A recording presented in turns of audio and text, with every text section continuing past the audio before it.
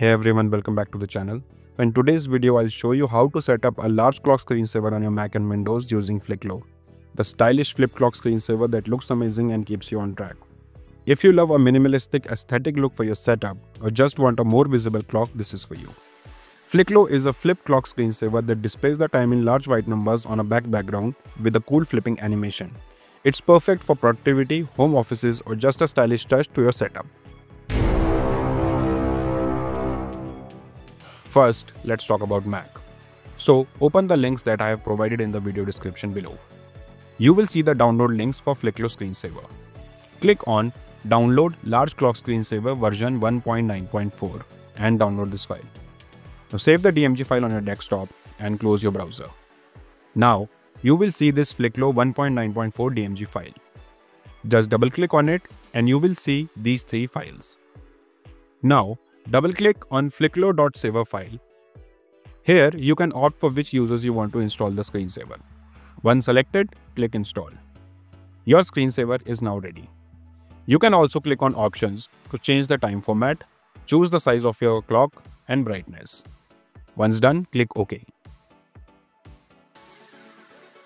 Now, let's click on the preview button to see if the screensaver is working.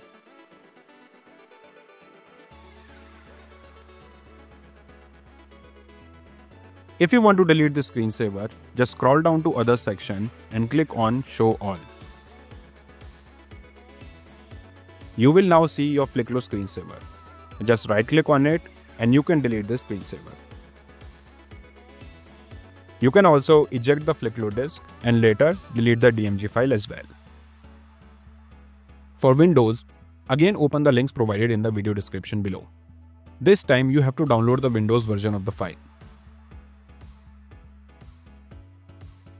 You need to click on download this file to download the Windows version of Fliqlo. Download and save the file to your desktop. Once the file is downloaded, right click on it and click on extract all and extract all the contents of this folder. Here you will see three files. Just right click on Fliqlo screensaver file and click on the install button.